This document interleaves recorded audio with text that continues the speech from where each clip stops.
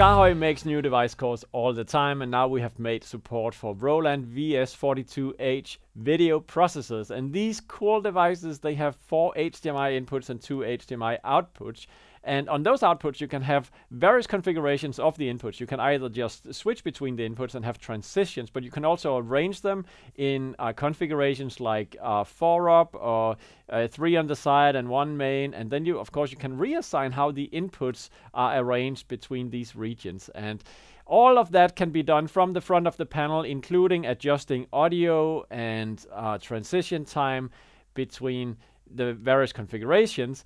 But sometimes you want to have an external panel to do just that so that the device itself doesn't have to be located exactly where you want to control it. And this is why SKAARHOJ developed support for um, this device. And I'm going to show you how the quick bar will work with it in this video. So if you look at the, the quick bar we have right here with the unit on the table, you see that the, the main thing I wanted to do is to show you how we can change themes. And this is really a reflection of what is already on the first four buttons on the front of the VS42H itself. So if I press on um, on this one, you can see the windows are, well, actually, no, you could not see those windows are arranged as I just said. And uh, maybe that's because the inputs or the wrong inputs are assigned to it. Let's just check this out. So if we just start out with looking at this four up view, then I can change to a, a three up view right there as you saw me just do, and then I can change to a two-up view right here. But apparently I'm missing a source on the one side. So we can uh, explore that a little bit now.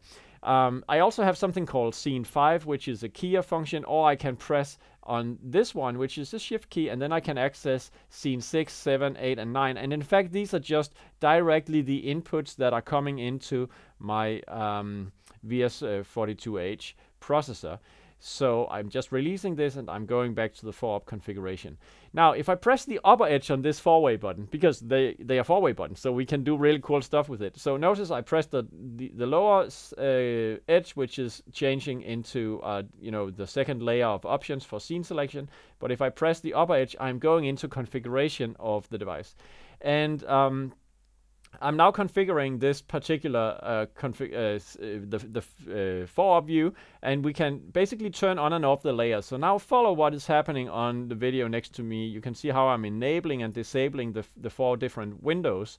And if I go back to where we were just uh, here, so um, let's take this one for example, and uh, I go into this configuration mode, you can see that I have uh, seen uh, layer number three was disabled. In this case, I can now re-enable this layer.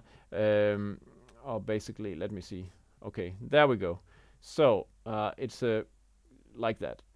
That's exactly what we want. Uh, I now have those two sources. So it's layer two and layer four, which are now shown in this configuration. So when I go between this one and this one, this is what I see. Actually, I also have transition time. So you see this little one. Uh, it's actually reflected on this the same thing. I think maybe this is not the knob. Is this the one?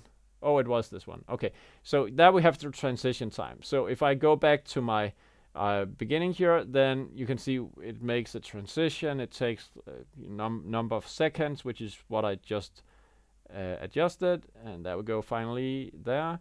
I can adjust the transition time on this one. So again, notice the coolness of the four-way buttons. Even though it's a button, I can actually adjust the transition time uh, down to the milliseconds almost by holding down the edges and now in the other direction. Great, great, great.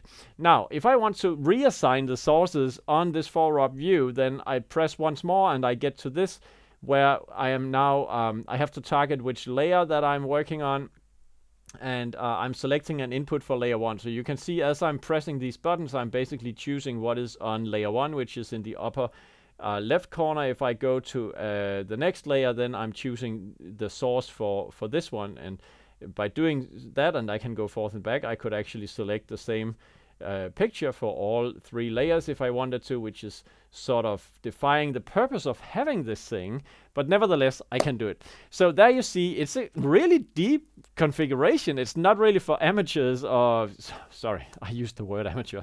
That's not what I intended to do. I mean, this configuration shows you the power of the SKAARHOJ devices, but it might not exactly be what you want to put in the hand of users who just need to change between scenes. Um, but it goes to show what you can actually do with a quick bar panel along with a Roland VS42H video processor.